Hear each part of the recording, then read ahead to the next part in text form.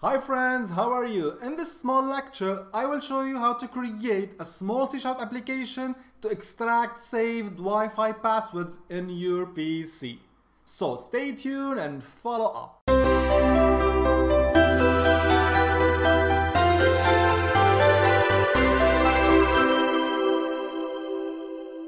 Alright friends, to understand the concept, let's see first how this operation works.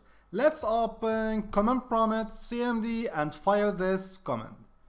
Simply say netsh wlan and then say show profile and pass the name of your Wi-Fi network you want to get the password for let's say in my case it's TP link extend this is my extender and say key is equal to clear this command will show you the stored password of this network on your PC. Run this command and let's see here this key content and this is my stored password. Can you see this? It's awesome. We will use this command inside our C Sharp application. We will run it and extract it and we will read the information and show it in an awesome form. So let's open our solution and explain it briefly so I don't waste your time and then you can get the source code at the end of the video. Here I am in my code. You can see this is a small form. I have this awesome style using the Metro framework. Here's a button and this is a list view with two columns. It's very simple. Now when I click on the get passwords button, simply what I am doing is I'm running this method get Wi-Fi passwords. Let's go to it. By the way, press on control and click and you will go to this function. In this function, what I'm doing simply, I'm getting the string retrieved from the cmd command line command.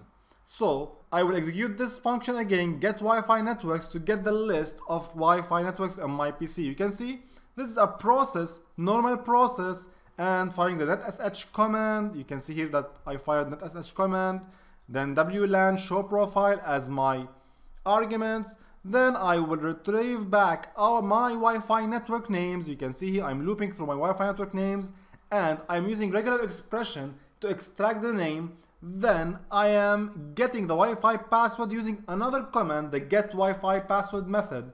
Let's see it simply another time I am using a regular expression to extract the password I'm just reading the command line output that's it I'm reading the command line output and then retrieving back the password and then adding to the list of view item here. It's very simple. So some command lines with some regular expressions and then you will have this awesome application. When we run it, we click on get passwords and we will retrieve all the local passwords stored on my PC.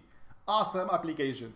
If you want the source code, just check the link in the description below. You can download it totally for free, open source, do whatever you want. If you have any question, you need any help, you need anything, I will be here to help you anytime. Just comment below, contact me on my Facebook page, and I will be with you.